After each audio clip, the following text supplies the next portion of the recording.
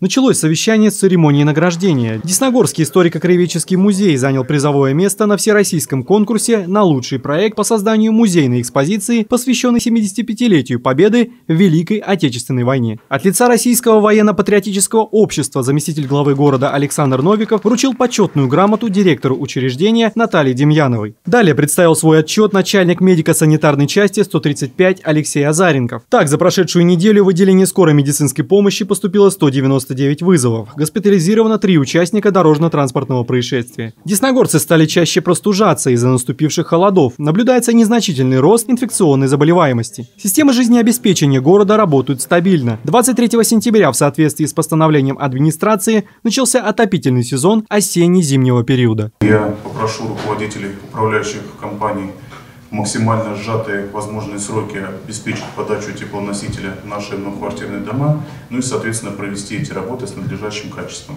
Подключение многоквартирных домов идет по графику. И за вчерашний день было подключено 56 домов из 96, которыми управляет компания МУККП. Вот. Э, планируем сегодня работу по подключению домов закончить и Впереди нас ждут уже наладочные мероприятия.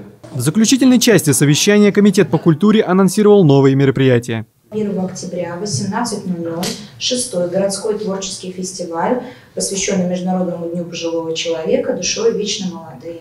27 сентября в 10.00 будет проводиться проверка муниципальной системы оповещения населения. Десногорцев просят сохранять спокойствие.